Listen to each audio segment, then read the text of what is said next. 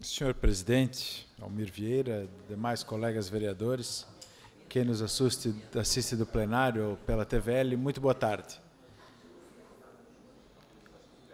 Nos últimos meses, eu fiz algumas críticas aqui ao governo do Estado, à ausência do governador em Blumenau, a falta de recursos para infraestrutura em Blumenau, quando o governo do Estado anunciou é, 200 milhões de investimentos em infraestrutura no estado de Santa Catarina, reclamei que Blumenau ficou de fora. Fiz uma crítica à política de impostos no estado de Santa Catarina, mas reconheço que agora é o momento de agradecer também o empenho do governador em vir a Blumenau, em dar recursos. Eu não sei se já foi feita a transferência só foi a promessa, mas em anunciar pelo menos recursos aqui para o aeroporto, que é importante para o desenvolvimento econômico do município de Blumenau e região, para o centro de convenções, que é uma demanda também não só do trade turístico, mas de todo, todos os empresários e dos blumenauenses, que haja um centro de convenções adequados, investimentos em saúde são sempre muito bem-vindos. Então é um momento aqui de demonstrar a nossa gratidão ao governo do Estado de Santa Catarina e, obviamente, nós vamos cobrar a transferência desses recursos, vamos é, querer ver a execução e, na qualidade de vereadores, fiscalizar.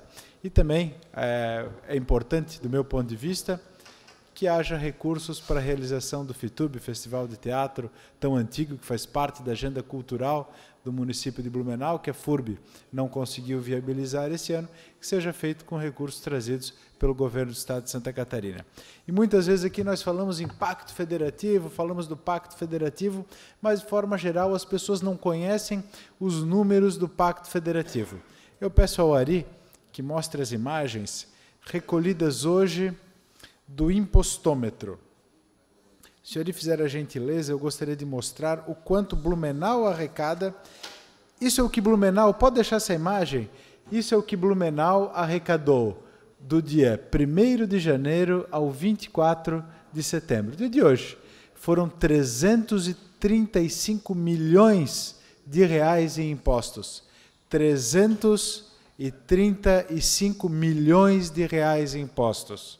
Então, pode tirar aí faz sentido que haja uma revolta por nossa parte dos vereadores, que haja uma revolta do cidadão, de quem contribui e não vê o retorno. O governador trouxe, anunciou ontem 35 milhões. Nós já arrecadamos nesses meses do ano 335 milhões. Para ter uma ideia, Indaial arrecadou 34 milhões, Gaspar 31, Timbó 27 milhões, Pomerode 21 milhões, Rio do Sul 47. O próximo, o próximo número, por favor, Ari. Para que as pessoas saibam o volume de recursos que Santa Catarina já arrecadou de impostos do primeiro dia do ano até hoje. Foram 70 bilhões 932 milhões. 70 bilhões de reais 932 milhões. Pode tirar aí. Desse valor arrecadado, 70 bilhões, a gente não sabe nem como mensurar isso, voltou para o estado de Santa Catarina aproximadamente 7 bilhões no ano passado. Foram 13%. Concedo a parte a Vossa Excelência, se for possível. Com autorização do orador, vereador Adriano Pereira. Doutor Silvio, quero cumprimentar pelo pronunciamento.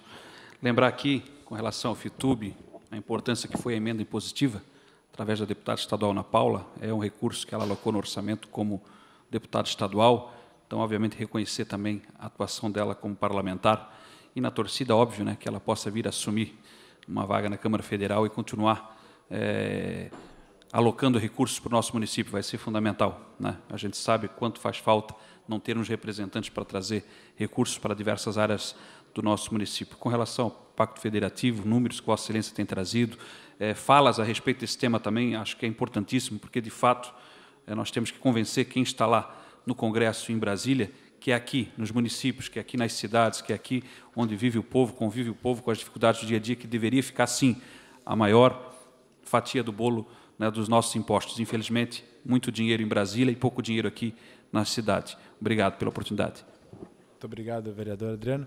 Vossa Excelência me concede mais um minuto e meio para terminar? Mais um minuto e trinta. Muito obrigado.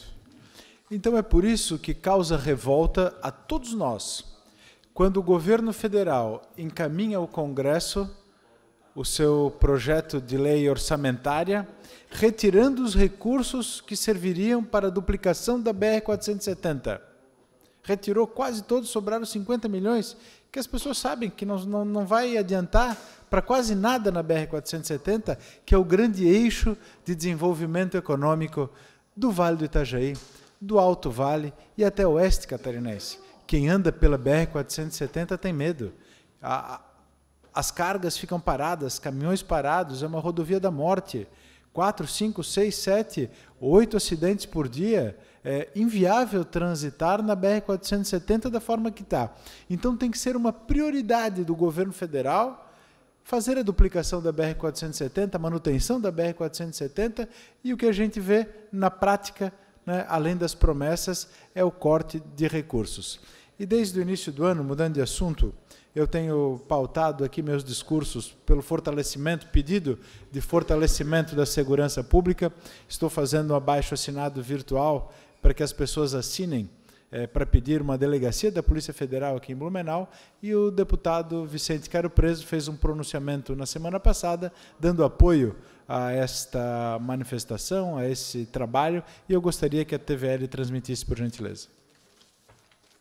É, eu queria dizer que eu sou a favor de uma campanha que tem sido encampada pelo vereador Silvio Zimmermann de Blumenau, irmão a essa, esse esforço que aquele vereador tem feito para a implantação de uma representação da delegacia da Polícia Federal em, em Blumenau. São esforços que estão sendo feitos.